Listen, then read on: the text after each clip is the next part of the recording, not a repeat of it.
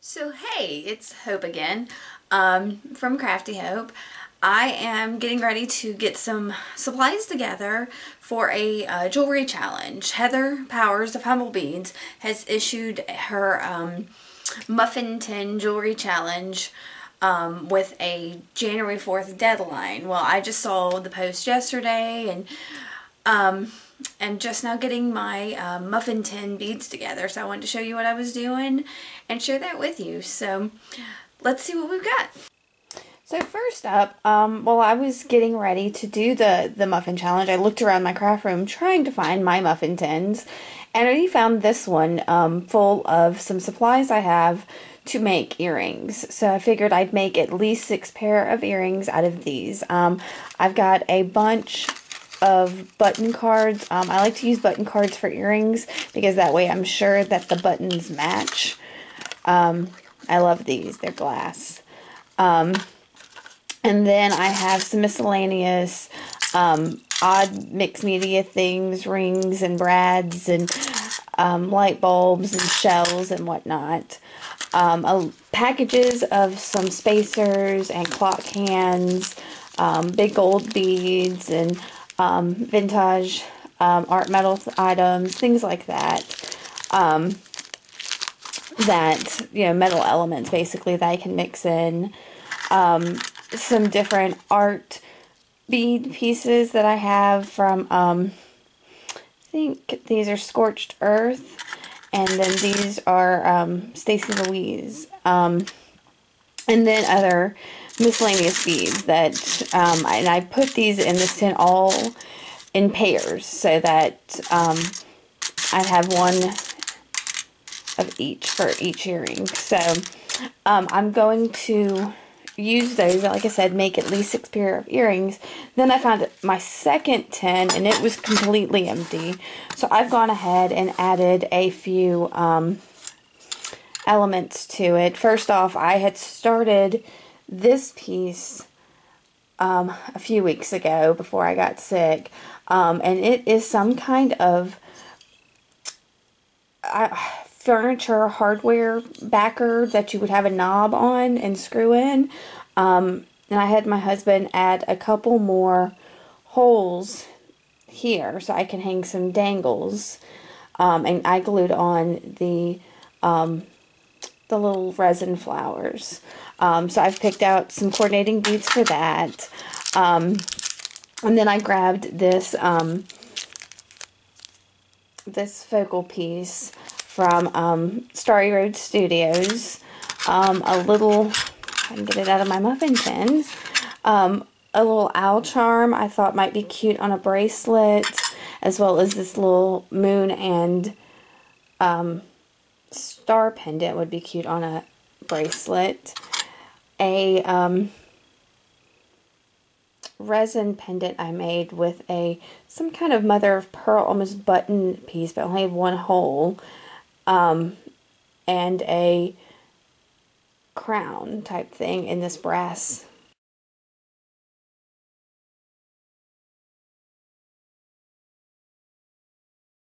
um, I've got a chandelier crystal that's always a pretty thing to put in a necklace. And that's it. Those are my two, um, my two muffin tins to make up my 12.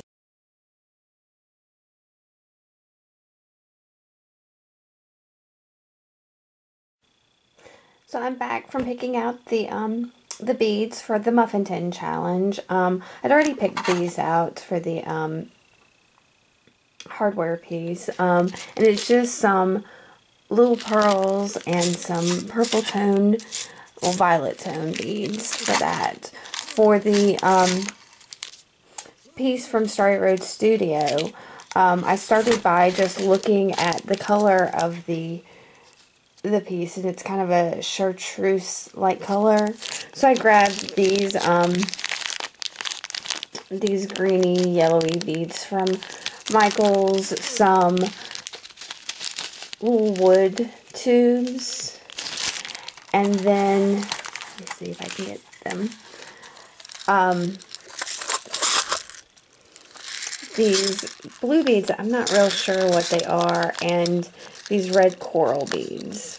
So we'll see how that looks. I may end up adding some more in because I kind of want a fun uh, fringy type feel for that. For the little owl that I was having trouble picking up and still am, um, I grabbed this mix of Chinese crystals I have from ZNet shows. Um, and I really like that mix, I thought, with that owl. So I added in these crystals from Michaels. And then um, a couple of Czech glass beads and these little um, faceted amethysts, which I think are also from Michaels. Um, for the resin piece I made, I wanted to just go really simple with that. Um, I actually have my cousin in mind thinking about it because um, she calls herself the princess. So I picked out some of these really bright, um, they're jade dyed um, amethyst beads from ZNet shows. Um, about four millimeters or so.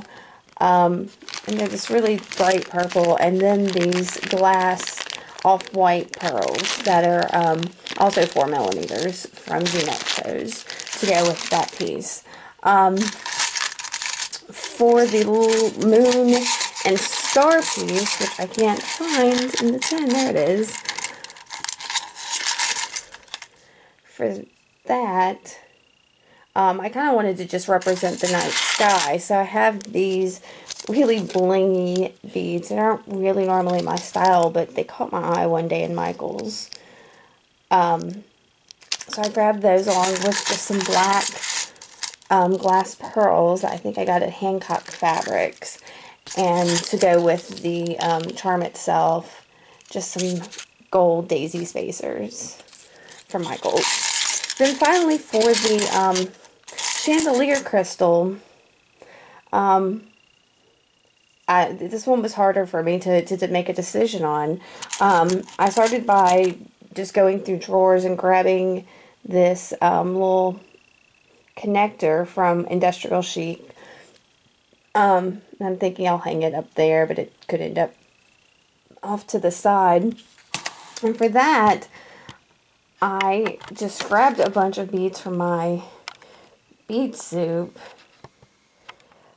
and threw them in there and figure I'm going to just do some kind of mix for that necklace since the bead itself is just transparent. Um, I did pull out my bowl of bead soup um, that I may pull more beads from to, to make up the necklace, but for now I started with those. So that's where I am right now, and I need to start, I guess, getting some jewelry done before January 4th. One last note, I have reviewed that video of the Muffin Tin Challenge reveal and realized how much I say um. So I want to apologize for that. I am going to, as I work on these videos, get a little bit better at my presentation. So I apologize for now and hope that you could bear with it for the moment. I will be working on it. Thanks.